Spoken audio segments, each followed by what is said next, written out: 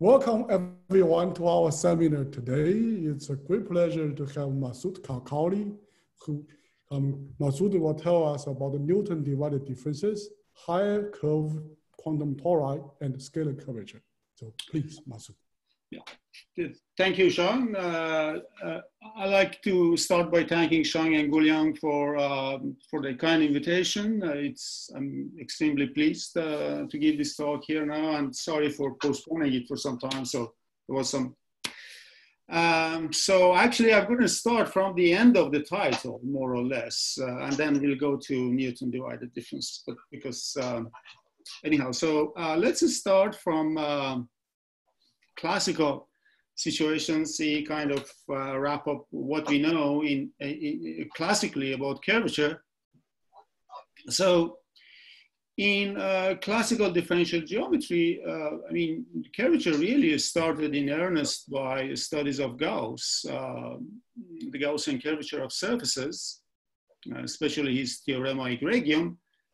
And then uh, giant step uh, changed by, uh, was, was taken by Riemann, where he introduced this uh, curvature tensor, much more complicated quantity, R-I-J-K-L, the four tensor. And then uh, Ricci found uh, Ricci uh, curvature, R-I-J, uh, which is quite interesting also, as we'll see. And then there was scalar curvature, which is a contraction of free Ricci.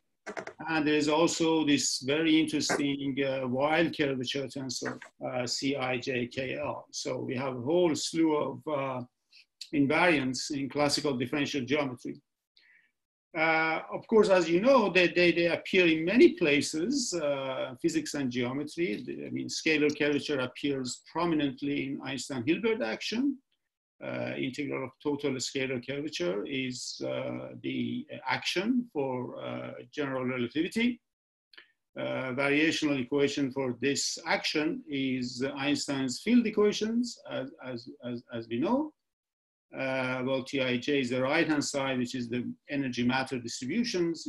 Lambda is this kind of mysterious cosmological constant. People are still debating about its nature, whether it's related to dark energy, dark matter, or things like that, uh, or not. Uh, but it was already predicted, was put by Einstein and was taken out of the equation by Einstein himself.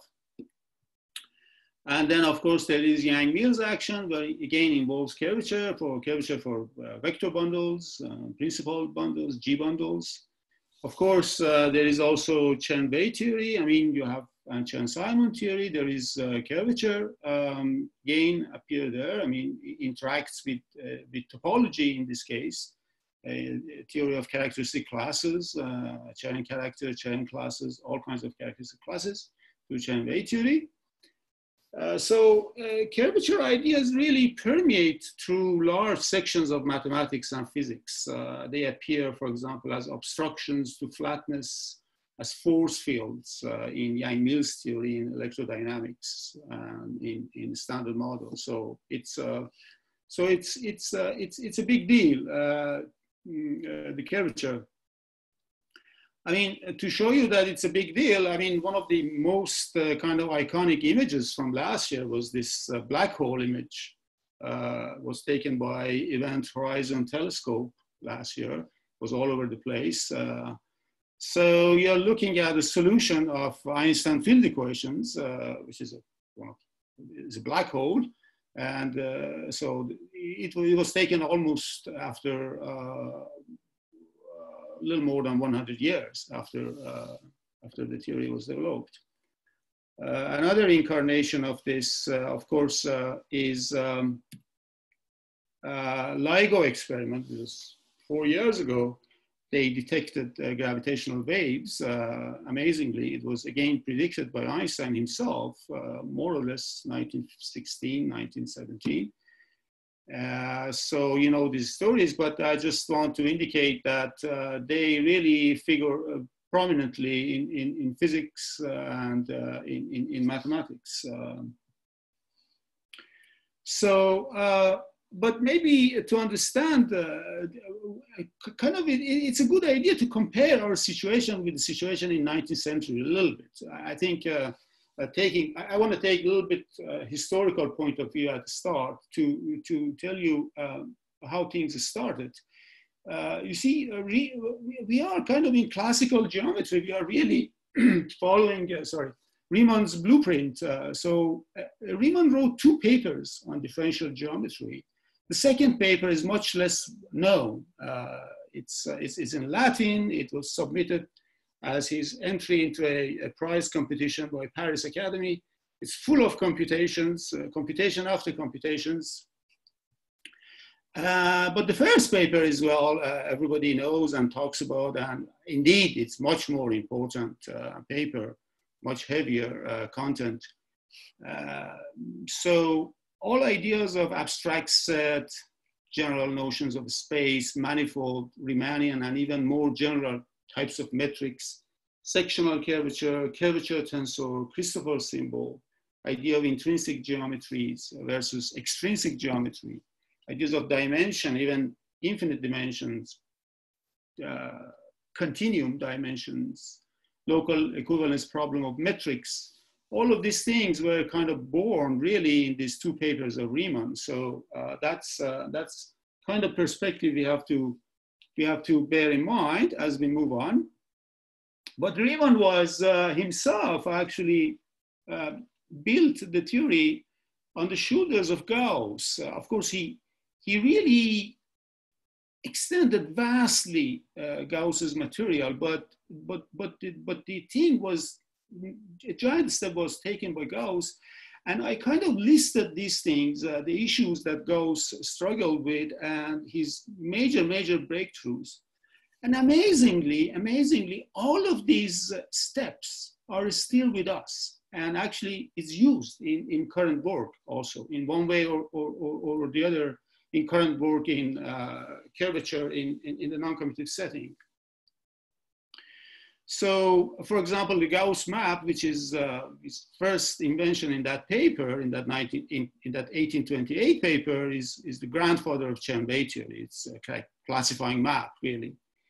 Uh, or his Theorema Egregium that uh, amazingly proves that uh, curvature that was at first defined extrinsically turns out to be completely expressible in terms of this quadratic differential which, re, uh, which now we call Riemannian metric for surfaces, but it was started there. And he also proves a local uh, Gauss-Bonnet theorem. He doesn't prove the Gauss-Bonnet theorem, but there's a local version which uh, the, uh, the defect, angular defect of a geodesic triangle is uh, proportional, actually equal to the total curvature in, of that uh, triangle, geodesic triangle. The sums of interior angles minus pi is uh, total uh, curvature, Gaussian curvature. He also proved another, before this paper, another amazing theorem, which is local uniformization theorem that he shows that uh, basically um, two-dimensional Riemannian metrics are always uh, locally conformally flat. You can, you can always in two dimensions find local coordinates at least such that the metric is going to be of the form e to the h times dx squared plus dy squared.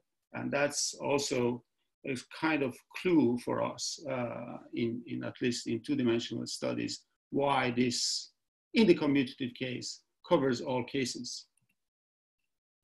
Now, um, of course, now we are in 21st century, so let's talk about uh, space uh, in its uh, new incarnations.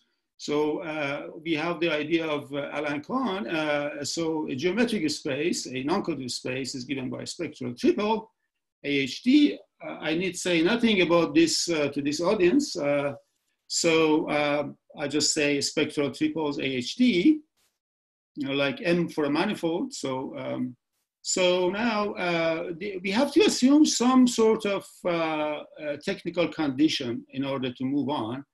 Uh, so the assumption is that uh, these uh, localized uh, traces of heat operators, so for any element of the algebra or smooth part of the algebra, these traces of uh, heat operator times A there is some asymptotic expansion near zero. Short, short time asymptotic expansion. The right-hand side is not a convergent series in general. it's actually divergent. It is an asymptotic series, as you know. So this is a technical uh, thing we have to assume. Um, uh, M is dimension of this uh, quantum space or non-quantum space okay, so now the way, uh, as you know, non-commutative geometry progressed is, is that uh, we kind of naturally came to, uh, to use uh, spectral geometry as, as the main tool. In many ways, this is kind of uh, unavoidable, but uh, that's, that's the clue from the classical geometry that we have. So here is, is an alternative approach to, to invariance of geometry that directly relates to uh, spectrum of, of, of, of, the operators, geometric operators, and kind of information that you can glean from a spectrum that's also available in, in, in, in the, in the non-commutative case. Uh, some of it, uh, not, not all of it, some of it are, are available. So the, the main question now for us is, can one hear the curvature? Or you can say, what kind of curvature one can hear really. Uh, so that's, that's, that's the question.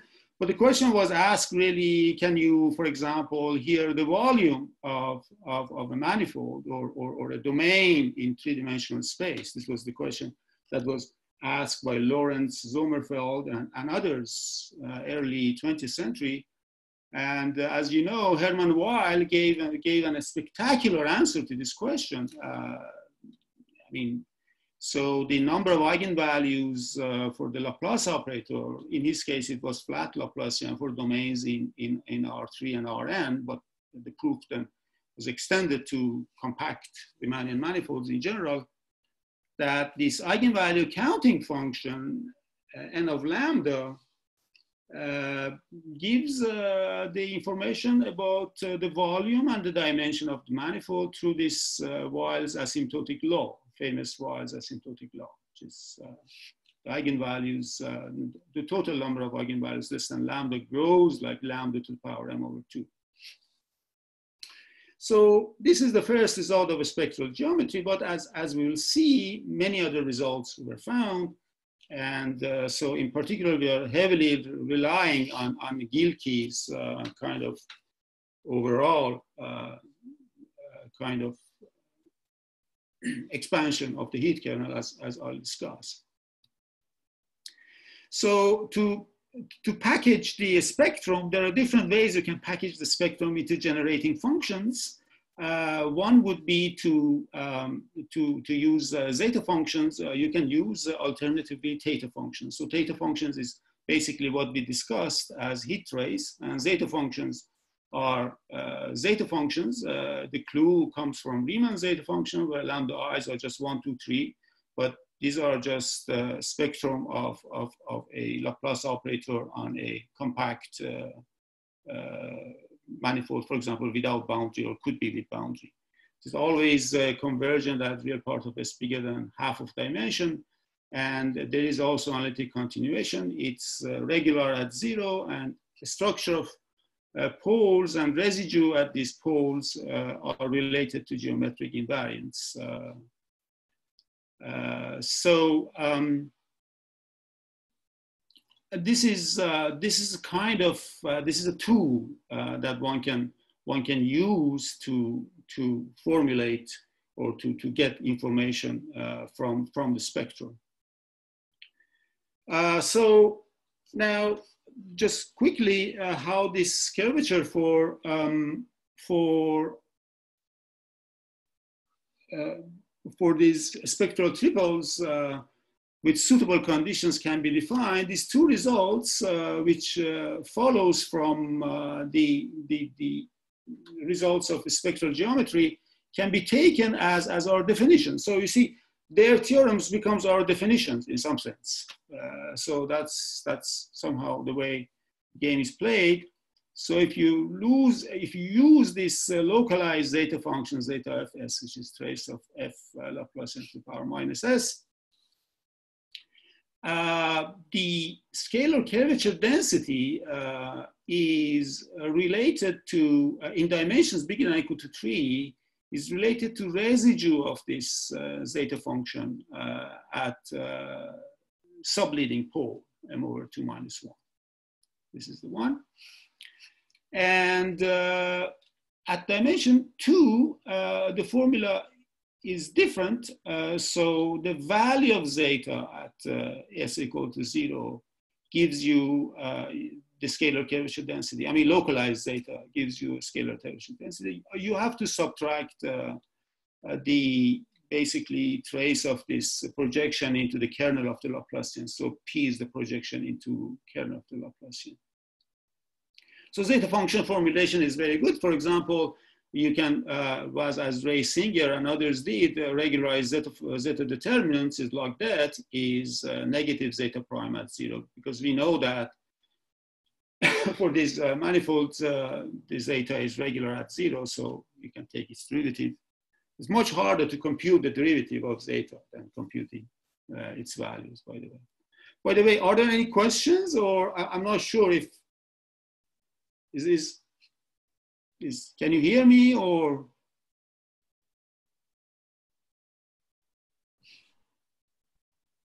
We can yeah. hear you. Yeah.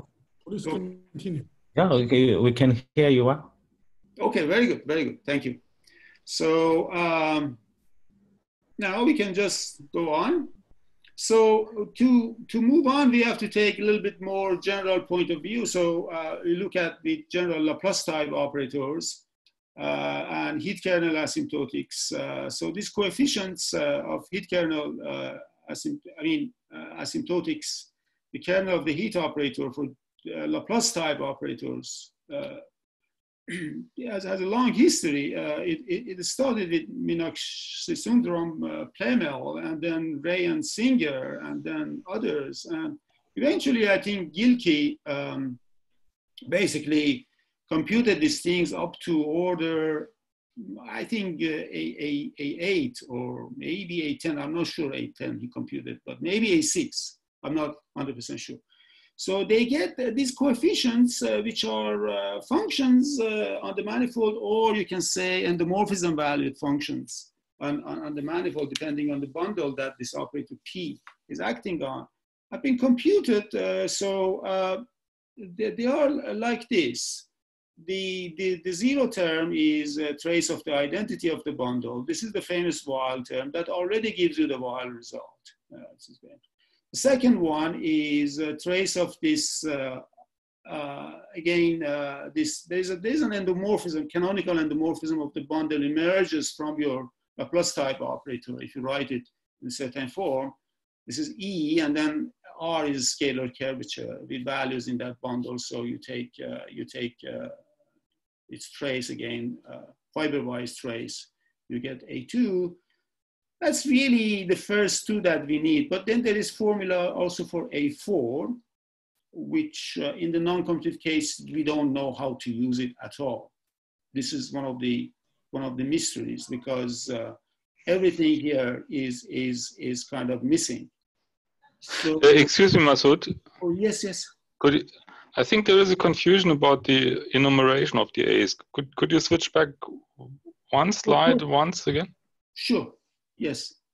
Yeah. Oh, so. Yes. Yes. Uh, absolutely. So you so you are you are a one. So in in in Gilkey's counting, your a one will be a two. Yes. Yes. Absolutely. And and your a two on this slide will be a four. Should so be a four. That's right. Yeah. Yeah. There there is there is a uh, there is there's a problem with, this, with my notation. Right, thank you, uh, Matthias, yes, indeed.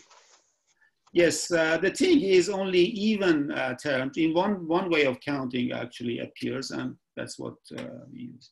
Anyhow, so this uh, fourth formula uh, or third formula is not very useful for us, but the first two are extremely useful.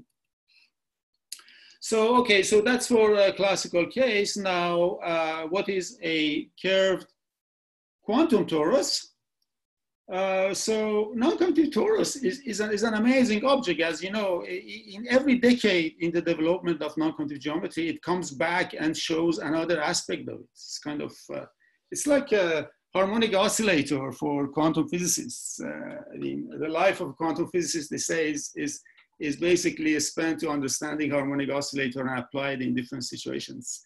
So, uh, I mean, quantum torus also uh, is similar. So it started, uh, of course, as, as a topological object in 1980s, and then it moved on. And every decade, a new feature is added to this. So uh, we are going to talk about that, but uh, I, I, I lately, uh, just just to lighten up a little bit, lately I, I, was watching news. There was there was an amazing question by a five-year-old. As she was uh, watching all the news about uh, about fighting uh, COVID-19 and coronavirus and all these things, everybody was talking about bending the curve. Uh, so she said, "Yeah, everybody's talking about bending the curve, but what is a curve?" I, I, found this question really amazing, and, and in many ways, I, I, I find myself similar in similar situation. Uh, very often. I mean, what is what is a quantum torus? What is a what is what is a curved quantum torus? Uh, we have some clues, but still a lot remains uh, to be done. Anyhow, so uh, the, the, the, the, the non-commutative torus, of course, you know, uh, as, as, as, as, as a topological space uh, is a C-star algebra, universal C-star algebra generated by unitaries U and B there is a canonical trace and there are two derivations acting on the smooth uh, parts, which uh, I don't need to spend any time on that. But then uh, the added structure uh, came in the form of uh, complex structure uh, and the corresponding Dolbeault flat Laplacian.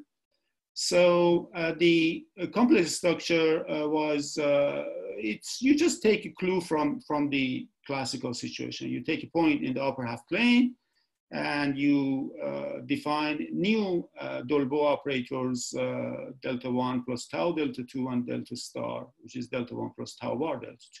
So if tau is equal to i, you do get really a del and del bar operator of complex analysis, which or, or, or usual torus uh, elliptic curve, uh, but you can, you, can, you can take any point in the upper half plane. And the corresponding uh, flat Dolbeault Laplacian uh, just del star del. It's, it's there. Okay, so using that result of Gauss, uh, then uh, you, you know what you can do. So you can uh, perturb uh, the, this conformal class by, by a conformal factor, and then uh, you, by this local uniformization. In the classical case, you know that you have, you have, you have covered good ground. Uh, but in, in the non-commutative case, we don't know, but that's what actually and uh, Tretkoff uh, chose. So what they did, uh, indeed, they, uh, well, in, in their case, tau was I, uh, to tell you the uh, real situation. And they varied the metric conformally in the sense that they, you took, you, you take an element, self-adjoint element in, in, in, in smooth self-adjoint element in the non torus, and then you change your trace uh, by doing, uh, by, by usual uh, perturbation of, of, of, the trace. So this trace now is, is a state, but it's not trace anymore. It's, it's not normalized anymore, but, but it still is, is, is a non unnormalized state. Okay, so it's a KMS state uh, with modular operator, modular group uh, sigma t, which is given by that, and modular automorphism, which unfortunately is denoted by uh, delta. So uh, we are going to use a triangle later on for the Laplacian and, or at least flat Laplacian. And this uh, bold delta going to be uh, for modular automorphism uh, of, of this perturbation. And uh, so this is important because it comes into the formulas as, as, as we'll see. In all, all formulas, these things come in. And then the, the, okay, here we go, is, is a non-commutative uh, and uh, curved uh, torus, uh, which is the, I would say is the first example, which goes back to Connes-Tretkoff uh, a paper uh, from late 80s, maybe early 90s. Um, so, well, you, you do what you do. I mean, you, you perturb the the metric, uh, you do GNS construction, you get H5, which is the uh, GNS Hilbert space. H10 is essentially H, uh, and then you have these Dolbeault operators, and you, you take, uh, is, a, is a two-graded spectral triple and uh, is even, I mean, and then you have this, this squared, which is these two operators. Now, these two operators are quite difficult to analyze per se, but the observation was that uh, actually they, they, are conformally, uh, they, they, are anti-unitarily equivalent to something which is more amenable to computations, as, as we'll see. So this is the content of the first uh, paper uh, that uh, actually dealt with a kind of curvature related invariance in this uh, spectral non-commutative ge geometry sense. So what they showed uh, eventually is that for all k theta and for uh, k is e to the h, by the way, and for tau equal to root minus one, i, uh, the value zeta of zero of the zeta function of this operator of Dolbeault Laplacian, which is anti-unitary equivalent to k del star del, k. well, this delta star is, is this uh, is unperturbed uh, Dolbeault. Mm, um, is given by zeta 0 plus 1 equal to this expression. So, so you, ha you have this expression that looks very complicated. And this expression, uh, how to understand it? Okay, so there is this operator uh, modular operator delta. There is a function, explicit function they found in terms of truncations of these log functions. A very interesting uh, transcendental function they found. You apply that uh, to this modular operator, you apply this to this element. And here is uh, another element of the non-commutative torus. Uh, and here is uh, similar in a kind of symmetric way. And then you apply your uh, state uh, phi uh, to these things, and zeta 0 plus 1 is equal to that. So uh, just a little bit of story here. This uh, was like this for state for almost eight, nine years. Uh, uh so they didn't know how to simplify this and it was, so they didn't publish the paper. So on, till the time came when Alain learned how to use computers. then he became a master of uh, Mathematica and com computer, and then he could he could simplify this. And the result was uh, was uh, this Gauss-Bonnet theorem that, as it was expected in the classical case from this spectral geometry result, zeta of zero plus one should be independent of any metric because the Gauss-Bonnet theorem says that for any metric, the total scalar curvature is going is given by uh, the Euler characteristic uh, of, of, of, of, the torus, but Euler characteristic is zero. So basically zeta zero plus one is uh, equal to Euler characteristic, which is expected. Then we extended this uh, for all tau. Uh, in our case, uh, there was two more terms had to be added. So this not, it was not it was not two terms, it was four terms. But again, four terms canceled and you, you, you get zero. Right? The, the computations were uh, heavier in that case, but it could be done. It was done some time ago. Okay, so uh, that's the that's the beginning. Uh, but then uh, from beginning, uh, we were all interested in finding uh, the curvature itself. Um, I think Henry uh, later on actually found the proof of this uh, uh Gauss-Bonnet theorem itself, which is non-computational. And this is in uh, Connes-Moscovici uh, paper. Well, this result I'm writing here appeared. But, the, but, the, but, the, but the, the, thing, the thing itself is to compute the curvature. And for that, there is, of course, no shortcut per se. I mean, you had to, to get uh, down and dirty and then do the computations. So, um, so the result uh, that was obtained uh, really at the same time, uh, maybe same days even, as we were communicating with each other also, so is that for, um, yeah, for this curved non-commutative torus, for general conformal factor, general um, uh, conformal structure, it's given by this explicit formula. Again, there are uh, functions R1, one variable function, I will write it down, and two variable function R2, and then there is this another two variable, just, uh, just function of two variables, a smooth, actually, analytic function of two variables, W, that uh, gives you the, um, the value of the scalar curvature as an element of the non-commutative torus. So this is an element of the non-commutative torus and uh, it's obtained uh, through some sort of functional calculus. So you apply your function to this operator, apply it to this element of the non-commutative torus. Well, delta zero is really flat Laplacian. It, it, it's flat Laplacian. So here, for example, in the last term, the commutator uh, appears. Here, anti-commutator appears. Uh, these terms are kind of uh, uh, features of this uh, non-commutative situation. And uh, so this operation I will describe soon, but uh, this is an element of the non-commutative torus, it's a smooth element of the non-commutative torus. So these functions uh, explicitly computed, for example, R1 is given by this sine hyperbolic function. That R2 is, is, is an analytic function of, of two variables, and uh, W is also one of the functions of two variables. Uh, so it's, uh, I mean, so that, that, that's, that's the result. I mean, still we are, we are struggling to understand what, what really mean, what really this means. And uh, uh, I mean, is there any really, really, really uh, shortcut proof? I mean, or conceptual proof or some proof that would, would make it much easier to understand the formula. Um, so this is still going on.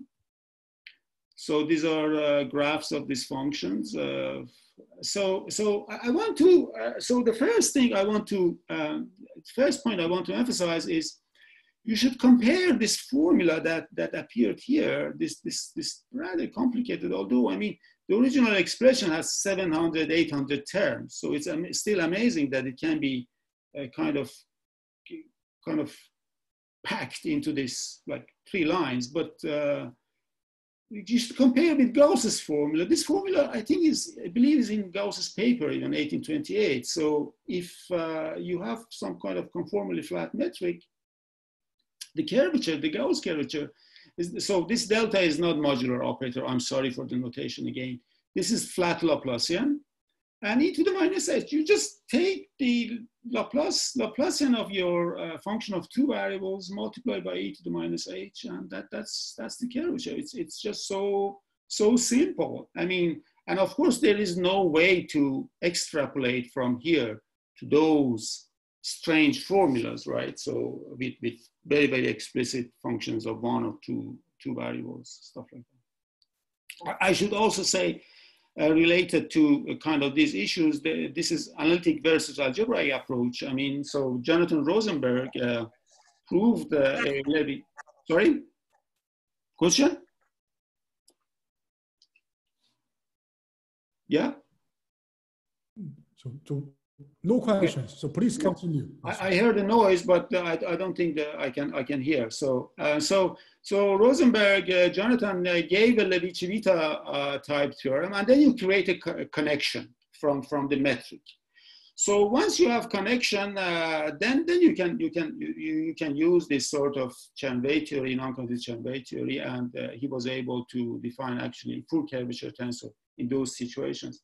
But we don't know what's the relation between the two formulas. He was also able to prove this uh, for conformally flat metrics that Gauss-Bonnet theorem holds.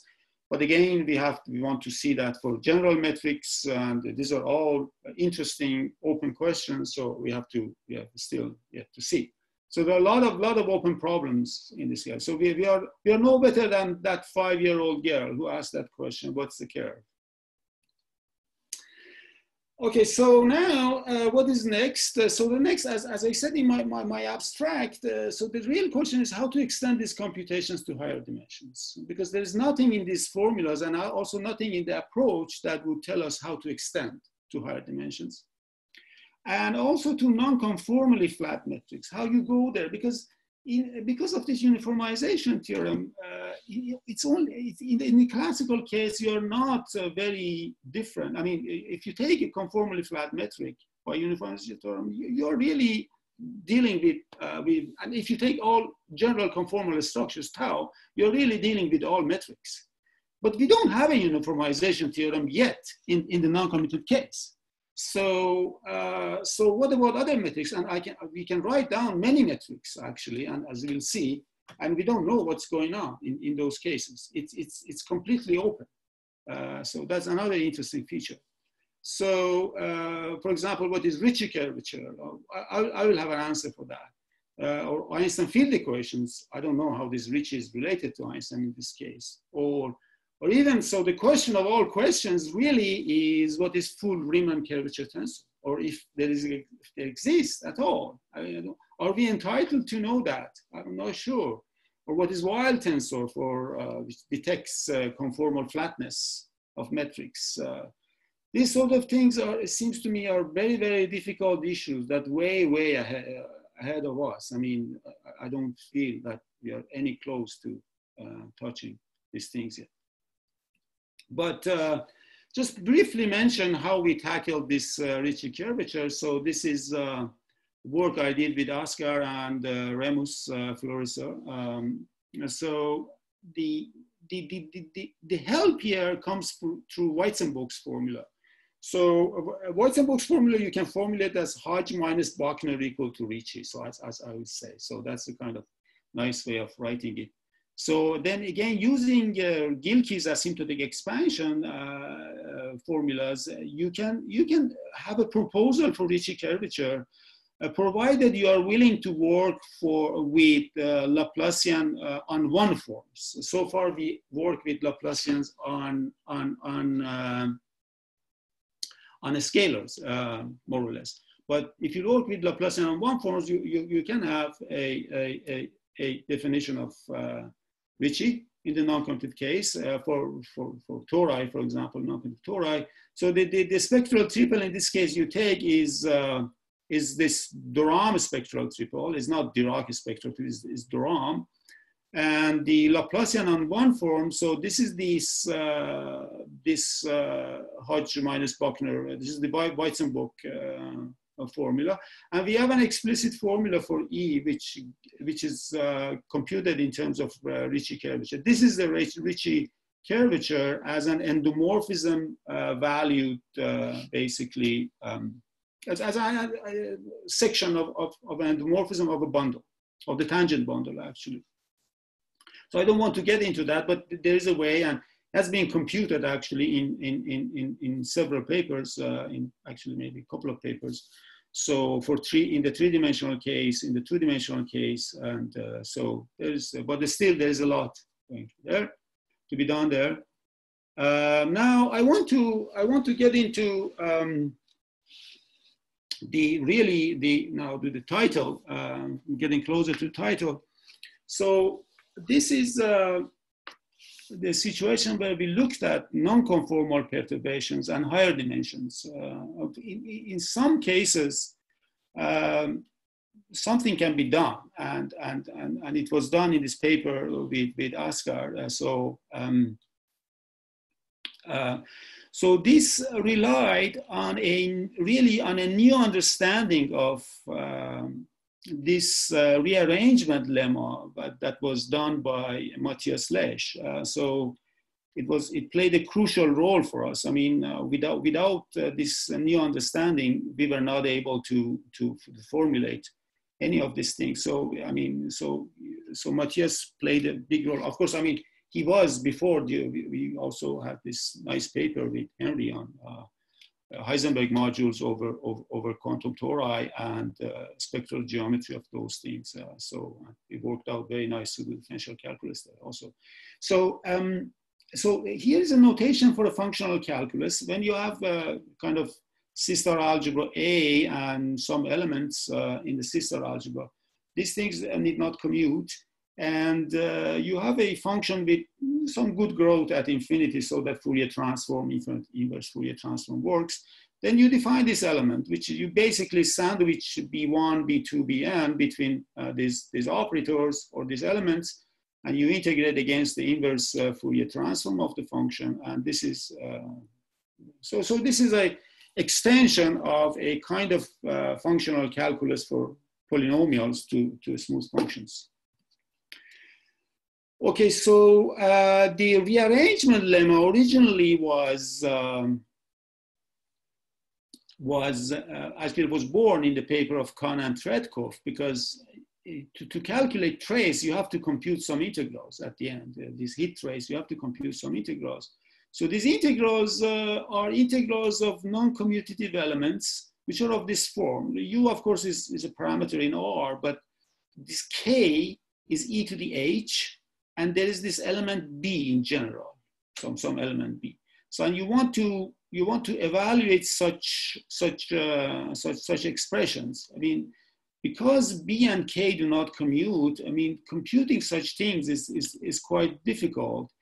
So it's related to the question of normal ordering in, in, in quantum mechanics. Basically, you want to write it in some form. You want to you want to work with elements in, in, in one form, uh, bring it to the standard form, and then integrate.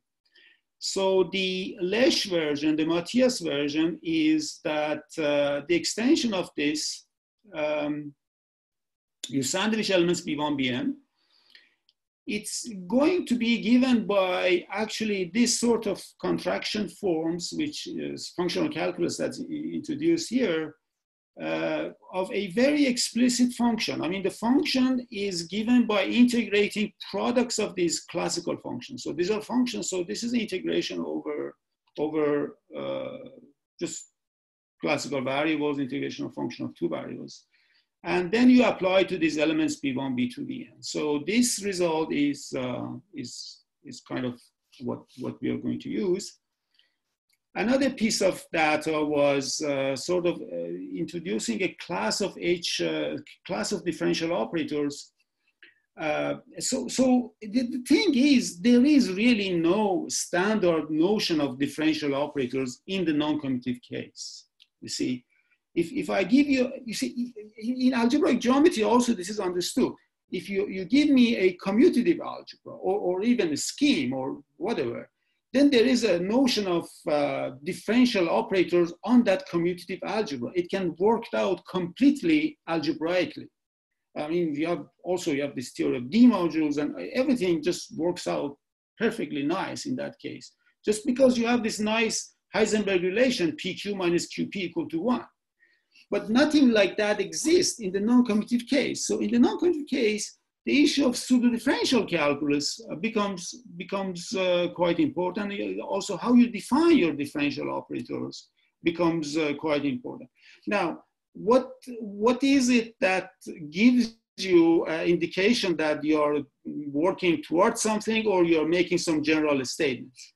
Well, what is really needed mm, is that you want to have a class of so-called differential operators that you can invert it so that you can invert it because we have to invert this. We, in order to use a spectral uh, geometry recipes, we have to invert this operator. We have to invert the Laplacian or generalized Laplacian. And inverting needs an infinite process. You have to start and zero term, first term, and next term. And this, next term is enough for us. The second order term is enough. But, but you have to start this process and you, then you have to get back into something which is in, in your original class. I mean, so that's, that's, that's the thing.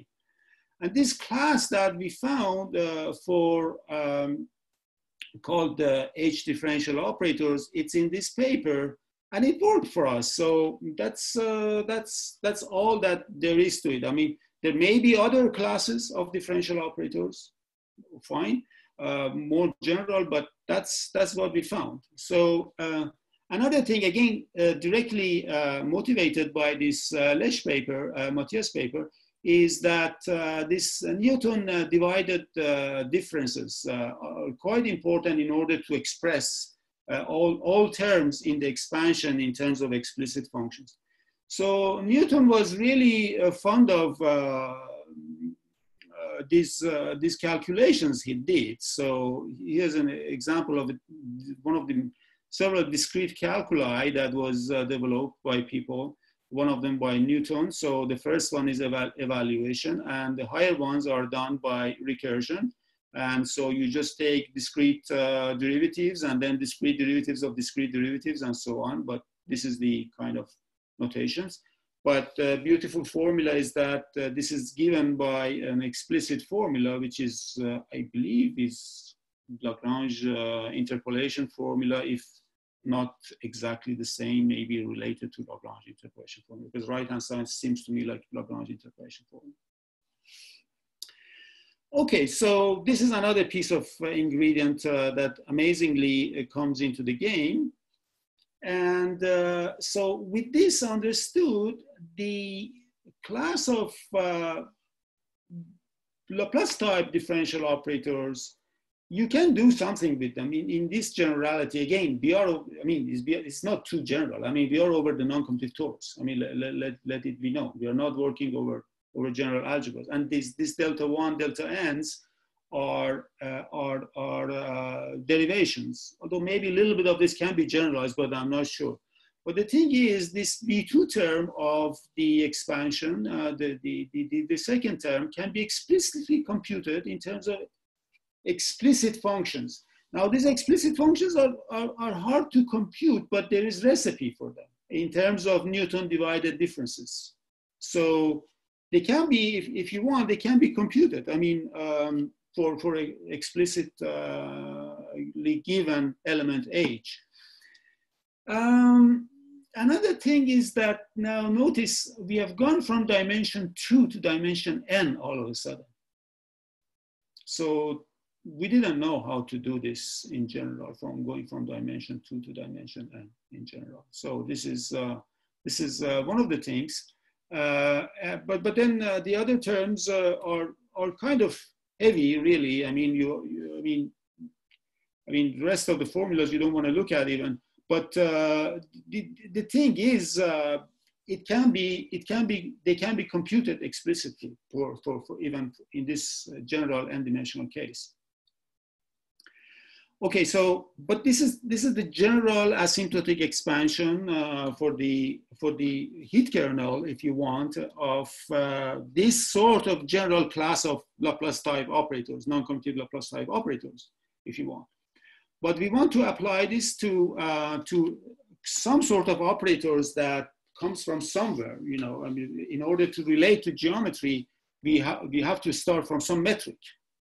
So the metrics uh, that turn out to work uh, for us, again, it's not the most general uh, kind of metrics you can take. I mean, you can take, uh, I guess that's what actually Jonathan also did. You can take an arbitrary n by n matrix of elements of the non-commutative torus and uh, you use this uh, flatness structure for, for a tangent bundle to define a kind of metric on this Hilbert module of, of, of the tangent bundle and higher forms but we don't know really how that would work. I mean, this is extremely hard to, to work with. So basically the metrics that we took, the, all elements in the entries, they really commute with each other because they are obtained by applying some functions Gij, smooth functions Gij on some, some, some self-adjoint element H.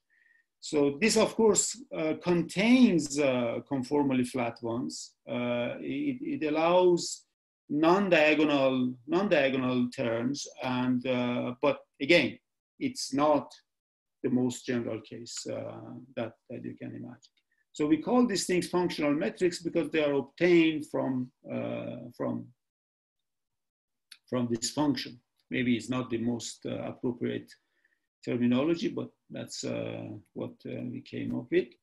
So uh, this then for this, you can play the same game that we have been playing from day one, namely you can change the uh, volume form and you can define a kind of uh, Laplace type operator, uh, which is perturbed by this metric It's called delta zero and G. And then the thing is the coefficients of this uh, kind of Laplace type operator, the second order term, first order term, zeroth order term, these things can be computed uh, explicitly in terms of uh, these Newton divided differences and the coefficients of the metric. So there is some sort of kind of uh, symbolic calculus that exists in the commutative case, at least for this sort of class, beginning, uh, began to emerge. And again, uh, what we need is, uh, of course, to compute what we wanted to do to compute the scalar curvature. So again, this is for general n-dimensional uh, kind of non-commutative torus. Uh, but for uh, general metrics in this sense, not the most general metric, the, the metrics that, um, as, as, I, as I explained, it's in this paper I mentioned. So uh, the term again is obtained by doing this sort of functional calculus in these two terms, uh, KD and HD. They depend on the dimension in a uniform way. And KD and HD are, are, are given in, in, by, by uniform formulas in terms of, uh, in terms of uh, Newton divided differences. So these are, uh, these are really, I think, the most general formulas that we can, we, we can think of so far. And uh, the question is not to prove really Gauss-Bonnet theorem. I mean, okay, the, the, the thing with Gauss-Bonnet is that nobody knows uh, how it, what kind of form it should take in four dimensions. We are not there yet because the, I mean, the, the main issue is the density of the Gauss-Bonnet theorem. I mean, you can formulate it in terms of this zeta function and say the value of zeta at zero is such and such is, is, is invariant on the perturbations. But that's uh, by the method that Henri uh, gave uh, in the paper uh, can be done. The, the thing is to find some analog of this density and we don't have that I'm not sure where, where, where we can get to that because uh, that's, that's an element that's really Pfaffian of the curvature and Pfaffian involves determinant and there is no determinant in the non-commutative case. So that's, uh, that's, that's one of the things that's missing. So uh, I, I take a stance that Gauss-Bonnet theorem in higher dimensions, uh, dimension uh, four and six and so on is completely open at the moment. So I take uh, and these, uh, ex again, explicit formulas in this version, because we are using Newton uh, divided differences, these uh, functions, two variable, three variable functions, come out to be like algebraic functions like that, but it's been worked out. So uh, maybe um, we are not uh, right now, don't want to. Okay, so these are the two functions. So, well, I just, I want to finish now. So maybe I have a few minutes, but just uh, do a little bit of advertisements for the book that uh, just published. Uh, so advancing non-commutative geometry in honor of Alain. So I have a survey paper there with, with Farzad. So and there are a lot of other beautiful articles, well, except mine. uh, some of you have articles there, I know. So uh, this is uh, this is maybe a good point uh, to uh, finish. And I thank you all for your patience and for being in the talk. Thank you.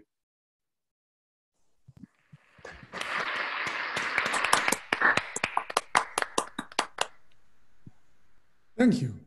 So do you have any questions or comments?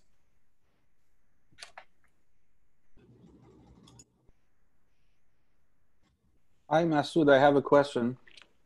Oh, hi, uh, Kamran. Yes, yes, yes, please. Yes. Uh, so sorry, I joined late, so maybe this is a really stupid question. But you you mentioned the you know these functional metrics. Uh, so are there any relations between these metrics and the Connes metrics on the you know from spectral triples on the state spaces, or there is no clear connection between these? I, I believe they should. I, I believe they should uh, give rise to metrics in that sense also, because uh, they they. Uh, I, I, I, I think so. I think uh, they they do. Okay, so if you're asking if there is a uh, spectral triple, uh, really. Um, um, we really didn't work out, I mean, the spectral triple side of this because after after so many years, now uh, we just go directly and compute uh, these uh, these uh, heat trace densities, and that's good enough. Uh, so um, maybe there are some details uh, of writing this in, as, as as an spectral triple, which which I'm not aware of, but. Yeah, that was exactly my question. Thank you. but yeah, I mean, it could be. I'm not, I, I'm not sure. Yeah, I'm not sure.